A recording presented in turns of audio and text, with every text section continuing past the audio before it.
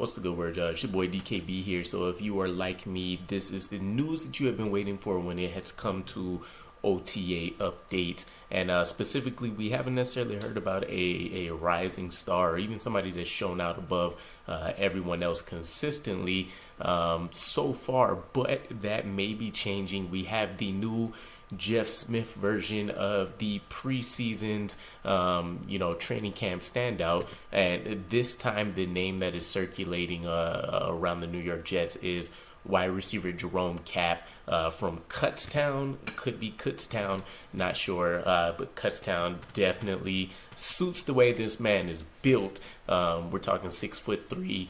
210 pounds, so there's been a lot of big body wide receivers the New York Jets have added, but um, seeing uh, kind of what he's been able to do so far, went back and checked out a couple highlights and things. It's easy to get really excited about him. So to kind of recap how we get here with Jerome Kapp. He made the team after rookie minicamp tryout, so he got invited, uh, was able to go out there and ball out, ended up earning himself a contract with the New York Jets.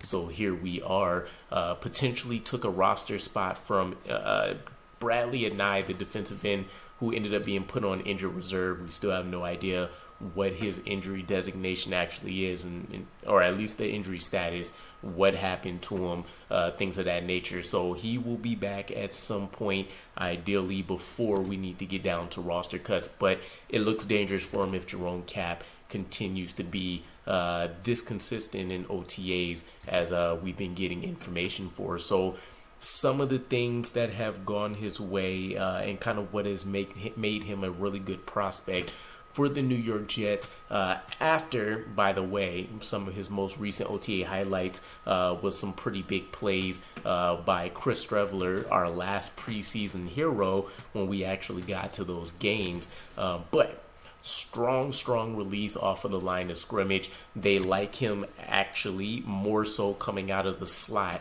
when people want to kind of press up on him there. Uh, so not only is he getting a running head start with a little bit of steam, but when he does see press coverage, he's able to go out there and beat that pretty easily for a rookie wide receiver, which is impressive also likes to be involved in special teams, uh, and we've seen that early on in OTAs. So when you want to talk about the Jeff Smith replacement, this guy is definitely doing everything he can to break into that wide receiver five, wide receiver six mold. A guy that should be putting someone like Denzel Mims on notice who already hasn't beat him out just for the simple fact that he's able to go out there and handle special teams duty. So other things that we really like, uh, we know he began his career at Seton Hall University. He's near the top of his record books for Kutztown in receiving yards and touchdowns um, after only being there for three seasons. And then you want to talk about um, him increasing his production each year understanding uh, not only uh, uh, leveling his game up, being able to go out there and understand what the defense are doing and still be able to handle that um, generally in an above average uh, fashion he's kind of a legend, at least in his conference, to a certain degree for being a Division two kid. And then you want to talk about the fact that he's essentially regarded as a game breaker, knowing that he was one of the only weapons on his team. Realistically, a defense had to worry about, and he was still able to go out there and put up strong numbers, game in and game out. Even going so far, which it doesn't sound ridiculous. Seen it, but he led his conference in 2022 uh, in yards per catch, uh, which equaled about 9.5, if I'm remembering correctly. But um, quickly learned a new system after transferring. Again, another leg up. Not to knock Denzel Mims down, but we know rookies can have trouble with the playbook. So this is a guy that's been there, done that, and seen it already. Uh, so that should be a pretty easy transition for him as he looks to make the team in year one.